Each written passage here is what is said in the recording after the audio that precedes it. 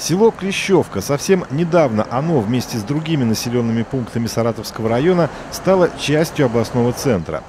Сегодня там проживает порядка тысячи человек, но перемене статуса новоиспеченные горожане не рады. В Клещевке по-прежнему нет нормальной воды, за продуктами, лекарствами и медпомощью приходится ездить в Дубки.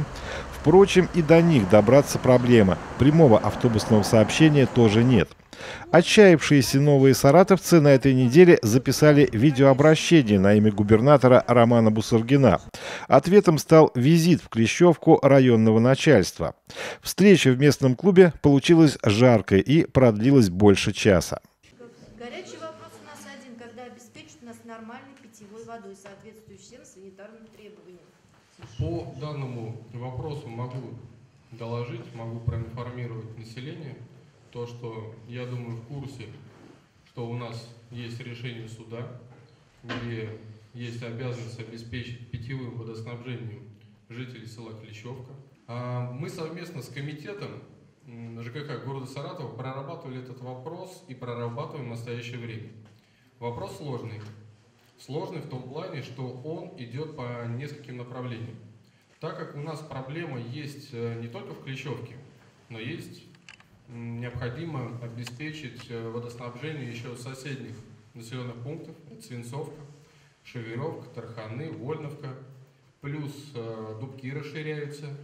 Поэтому здесь решить эту проблему за один день, к сожалению, сложно. В настоящее время проработано три варианта. Первый, который должен был охватывать и населенные пункты поселок Дубки с увеличением трубы большего диаметра, потому что населенный Никита, пункт... не обидьте, пожалуйста. Никита, не обидьте. Да. Ну да ладно. Я вам сейчас рассказываю в целом всю концепцию. Поэтому здесь рассматривался вариант, э, чтобы были в Дубки, подсоединялись э, к городской воде, КВС, чтобы и у людей был тариф, как в городе. Подключались туда село Клещевк, Свинцовка. Также сейчас с КВСом назначена встреча о проработке вопроса без дубков, что подключать населенные пункты от э, КВС, но по другой линии. Населенные пункты только село Клещевка и Свинцовка. И также рассматривается третий вариант. Это установка локальных очистных сооружений только на один населенный пункт. Но здесь мы не решим проблему соседних населенных пунктов. Плюс установка лосов повлечет за собой удорожание тарифа а, на питьевую воду, потому что любые локальные очистные сооружения это химические, ну там дополнительные реагенты а, по очистке, и тариф будет установлен ну, выше, чем тот, который, допустим, даже сейчас у вас. Как Можно же в этом году будут модернизировать? Вы сейчас уедете, а нам что делать с водой? Да. Вода не, измене- не изменится у нас от этого разговора. Я 40 лет в этой деревне живу, и 40 лет вода с лягушками идет из трубы. Каждый день. Весной, весной у нас там дохлые, дохлые кошки, дохлые собаки, трупы вылавливают. А у нас дети подходят и с этого крана пьют. Это нормально. Вы сейчас уедете, а нам-то что делать опять? Опять только разговоры. В прошлый раз на выборы здесь кто-то хотел себе голосов набрать. Тоже приехал к нам. Голосуйте за меня, я вам воду проведу. Проголосовали, воды нет. Перед этим приезжали, давайте мы у вас помойку сделаем здесь небольшую. Сделаем вам воду. Делайте помойку, сделайте нам воду. Опять воды у нас нет. Сейчас я кран открою, вот я сейчас помыть ребенка, у меня вода черная течет. Я поехал в Липовку, отсюда вот сколько, 7 километров, набрал 4 канистры воды и ребенка мою. На моей памяти 15 лет каждый год приезжают нам и говорят, да, мы делаем воду, мы делаем. Вы хоть марлевую трубу привяжите, чтобы она хоть не с лягушками шла. У нас э, сегодня на встрече присутствует представитель э, ресурсоснабжающей организации «Кристалл». Я могу сказать, когда они заступили на территорию как ресурсоснабжающая организация, я помню, не то что помню, я в курсе, что были проблемы летом по водоразбору. А, у нас в любом случае село Клещевка в настоящее время обеспечивается технической водой. И, допустим, я не могу сейчас сказать... Принести вам воды ведро сюда? Я сейчас скажу, принесу. Самое главное, цена этой Ну, я технической воды превышает цену питьевой воды, которая находится в городе А Саратов. вы видели цену И мы не против кристалла. Спасибо им огромное за то, что они работают, за то, что они устраняют цена. вот эти порывы на гнилом водопроводе. Но когда будет питьевая вода? Ну, вот смотрите, мы, а, когда были Саратовским районом и вошли в состав муниципального образования город Саратов, у нас на территории 79 населенных пунктов. И в каждом населенном пункте есть определенные проблемы. И вода – это основная, приоритетная проблема, которую решает город. Ну, к примеру, чтобы оперировать цифрами, я думаю, вы же все понимаете, что просто построить что-то нельзя. Надо изначально выбрать правильное проектное решение. Если мы говорим с вами населенный пункт Березная речка, я, конечно, понимаю, что вы радеете за свой населенный пункт, и это абсолютно правильно. Но, войдя в состав муниципального образования город Саратов, только за прошлый год э, было разработано проектно-сметная документация по шести населенным пунктам. Это Березная речка, и Соколова, и Поповка, и Шеверовка, и Тарханы. И сейчас Клещевка, она идет в приоритете, но нужно выбрать правильное решение со специалистами, чтобы это было не локально решено. Можно поставить, как я говорю, лосы, но это не выход из положения. Можете хотя бы Я определить говорю, срок, сказать скажите, сроки, сроки Через год, выполнения? через два, Да. через десять. Вы вот опять Чтобы мы один разговор, и думали, что когда-нибудь о нас подумают и сделают, Вот, не просто получили говорят. За счет нас, вот бедных которые вот без питьевой воды, верблюды по пустыне, от водопоя к водопою, он получил статус городской агломерации. Вы что, власти, сделали, чтобы что-то от этого статуса нам присвоить? Вот вы представители власти, что вы сделали для этого? Автобус 120 рублей, три раза в день, студенческий карт, два утра, студенческие карты не действуют. Остановку сделали, вообще за три километра надо с села выходить. Где светофор не работает. Сетевых магазинов и светофор не работает. Сетевых магазинов нет. Мы едем в город за продуктами. Есть у нас здесь частный магазин, но это дорого. Проездные автобусы нас не берут. Если берут, то там уже Белая гора, не помню, какая-то газелька, даже без билета. Такие цены восстанавливают, что э, от железнодорожного вокзала за эту сумму может до ключей доехать. А у нас берут шестого квартала, чтобы мы к нам, нас довести, выпросить на остановке. Что делать старикам, скажите, которые немощные, у которых пенсия 12-15 тысяч, которые кипятят вот эту воду? Когда, вот, представитель, пожалуйста, как бы сказать, э, как, как- как медицинский представитель, да, они от нас не отказываются, они нам помощь всегда оказывают. Но у нас нет прямого, прямого снабжения с дубками транспортного. Мы вынуждены, чтобы доехать в медпункт в Дубки, поехать э, через шестой квартал, через город. Как вы мне сказали в нашей, не вы, представитель по связи, да, общественности, что да ничего страшного, городские поликлиники берут приписку, они приписывают. Берут. Но нас берут на 11 часов, нам дают талон, а у нас автобус два раза в сутки. Мне нужно встать в 5 часов, чтобы успеть в 7 часов на автобус, и чтобы весь день потерять, просидеть там в очереди. Городская агломерация. Дубки на нас вообще ноль внимания. Налоги мы платим. Налоги Налоги хорошие выросли. платим. У всех транспорт, земля. Два раза. А этих ничего не, не получаем взамен. Вот начиная с крыльца. Вы поднимались на крыльцо в клуб? Там ноги сломаешь, а у нас ведь тут почта, куда идем пенсию получать. И, и все обслуживание тут. И в магазины, на почту. А теперь, когда будете уезжать, проехайте через садик. Дорога вся в дырках. Да Везде нет, ямы.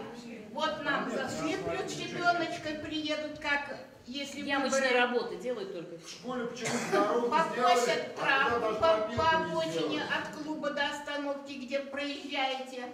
И все. На этом закончилось. Вот эту дорогу, вот, которая здесь через главную улицу идет, ее долбят каждый год. Мы ее за свои За деньги сделали, делали, сделали, она два года, мы ее не трогали, за свои деньги мы ее делали. То есть собирались деньги и отремонтировали. Два года дорога стояла. Приехала администрация, расковыряла, месяц сделали ее, сделали, через месяц нет дороги. У меня дети не кататься не могут по этой дороге, ничего. К садику. Я здоровый мужик, шел с ребенком, упал, чуть ребенка не раздавил. весь грязный пришел в садик. А у меня, а нас там каждый день дети ходят в школу. Каждый день. Газ, вот, газовую трубу меняли. Выкопали траншею. Кто ее засыпал? Никто. Никто. Они ее присыпали, а теперь мы так грязи ходим. Из-за этой траншеи. Дорогу И администрация ничего не делает вообще. Ничего. Вообще ничего не делает. Ничего нет. И вообще им срать на то, что на наши проблемы. Я думаю, вам надо... Не.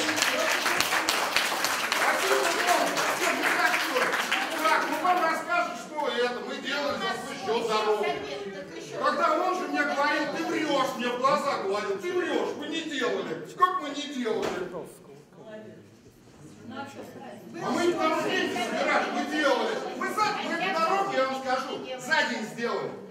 Мы в один день привезли асфальт, пробили, затрамбовали, привезли свой инструмент и всю ее сделали за день. Как ваши приезжали, месяц сделали. И сделать не могут. А если сделают, то через неделю ханали этой дороги. А налоги с нас берут, за все берут. За свет, за газ, за все, за все вообще берут. Только для нас за воду берут деньги, а для нас ничего не делают. Мы живем, я говорю, как халдеи, ходим в говне по пояс. А вы только разговариваете. По воде поступаем следующим образом. Два месяца до конца года необходимо время для проработки вопроса КВС. Но это не значит, то, что за два месяца мы а, уйдем из поля зрения и вас никак не будем информировать. Мне нужно до конца следующей недели времени, чтобы составить дорожную карту по вопросу водоснабжения. И вам ее уже предоставить на в общий доступ, на общее обозрение. Ну, вы понимаете, это наша боль, вот эта вода. Вы, конечно, не виноваты. Вы пришли не в силах. Бюджет, может, маленький сейчас дают. Я не могу сказать. Я много лет проработала в Татищевском районе, тоже в этим начальником ветслужбы района. Но у нас почему-то у Суркова везде во всех деревнях порядок.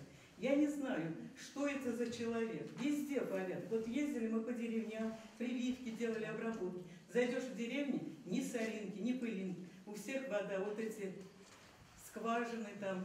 И фельдшера у нас в больнице нет. Аптечки медпункте. Ну что это такое? Ну мы Аптеки, могли бы- аптеки нет. Аптеки Самое нет. необходимое, Ну, хотя бы кого-нибудь лекарства. направить сюда. Вот вы говорите дорожная карта. Вы люди, пожилые люди. есть. Вы объясните, что такое дорожная карта. Я знаю, что это такое дорожная карта. А ведь другие не знают. И вот вы говорите дорожная. Вы говорите по-деревенски нам. Какая дорожная карта? План что вы туда мероприятий. Вписывать будет. Да, план мероприятий. План Что вы туда мероприятий. будете вписывать? Ремонт дороги, ремонт, это, проведение воды, там еще что? Медпункт.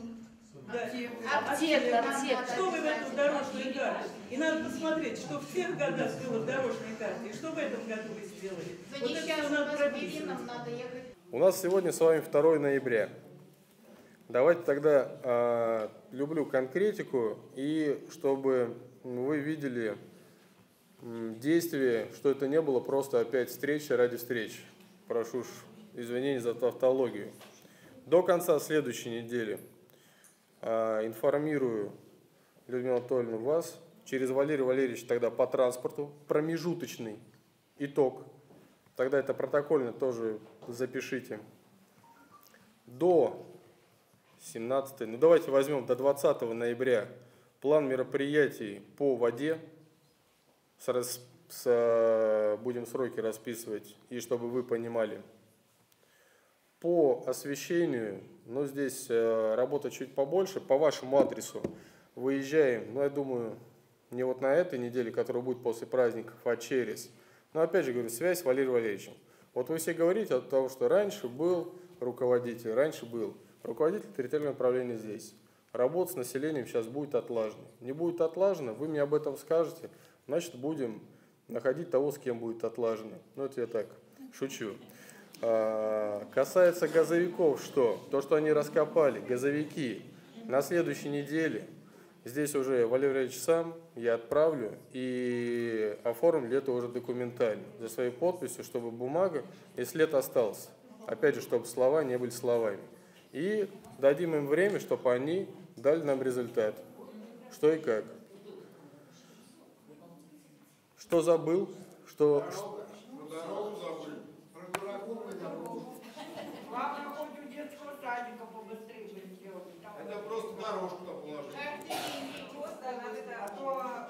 Давайте по дороге э, зафиксируем следующее. Э, уточняю, потому что у нас, когда присоединились э, и многие муниципальные образования, но здесь Валерий Ильич говорит, что она в казне, она оформлена, то есть на нее можно тратить денежные средства.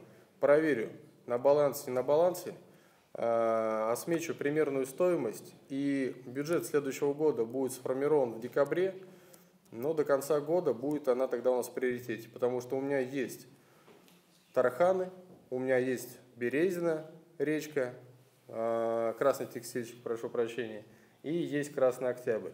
Там тоже детские учреждения дошкольные, где необходимо сделать дорогу. Тогда Клещевку поставим в приоритетный план.